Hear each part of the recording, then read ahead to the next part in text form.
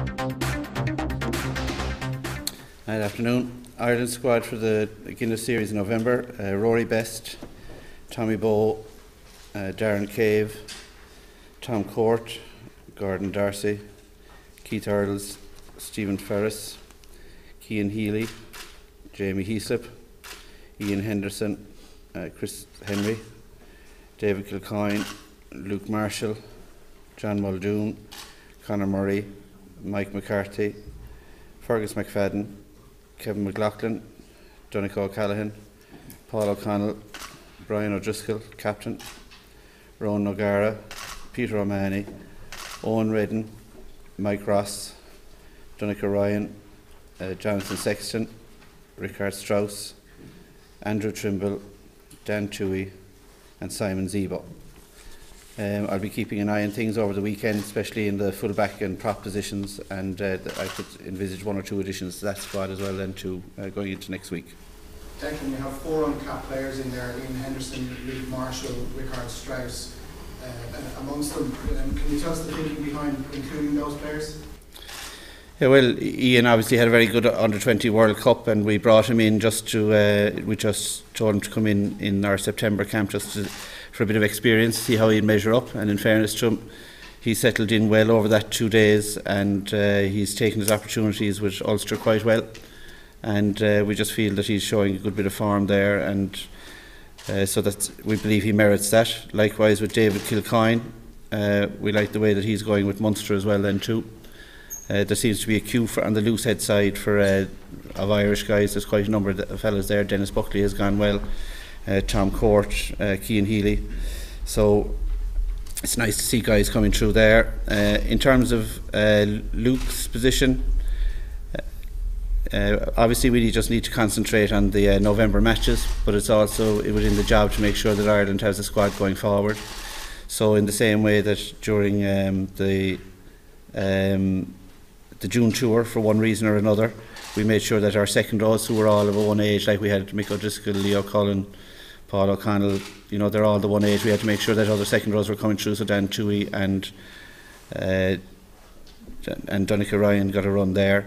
Likewise, in the centres, we have a number of guys playing well in the centres, like James Downey, uh, Paddy Wallace, uh, Gordon D'Arcy. In fairness to him, stood up to the mark uh, last weekend. So we feel just it's incumbent to make sure that we have a, a group coming through. So that's where we think that um, we don't want the three of those disappearing at the one time and having nobody. So Luke is in the squad there, and we feel feel also that he really went well in the early part of the season. And that's to give credit to um, uh, McSharry as well and to and Connacht. So it's nice to see two guys of that age group coming through. And we think the age profile then of the rest of the squad uh, is pretty good. That we have some experienced fellas who are, you can see a couple of guys there who are well over the 100 caps. Uh, but the job is to make sure that um, it's never cyclical, that you try and be uh, as smooth as possible in bringing guys through. And uh, Luke is that case. The uh, fourth guy, then Richardt, is like we talked about earlier. He's just he's just playing very well. How difficult have you found in the absence of uh, two coaches covering both roles, trying to double job? I mean, will this make a big difference to you in preparation for these tests? To tell you the truth, the time factor hasn't been a, an issue. If, if anything, um, working with Axel just allowed me to probably just put a bit more attention and focus on certain issues of the attack shape. Um, you know, we've worked together on that, and um, I've certainly had a lot more to do with that area.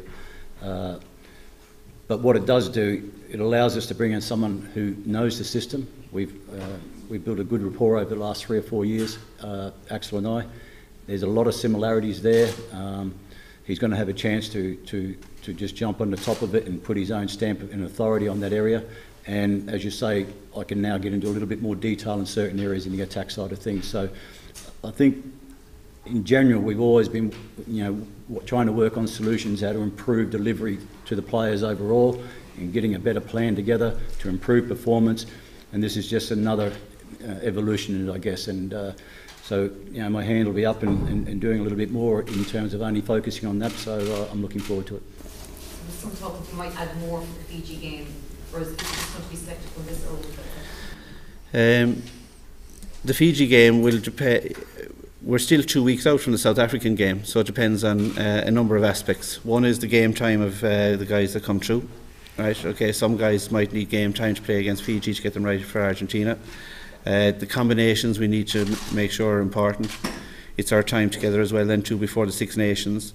And yes, we do want to try and give other fellows a go as well then too. So it will depend a lot on how the next two weeks go. So there, there might be the aspiration to play some guys. But this match against Fiji is is basically a non-test, a non-capped test match. Right? They won't be put, they won't be holding back against us, and we'll have to make sure that uh, we put out a good performance because the people who pay their money to go to Thomond Park, they'll deserve a good performance from us as well then too. Yeah, Keith was uh, Keith is up and running. Just uh, the match against Zebra on Friday is uh, just comes a little bit early for him, but we would ex- we would hopefully we would expect that he'd be training fully with us next week.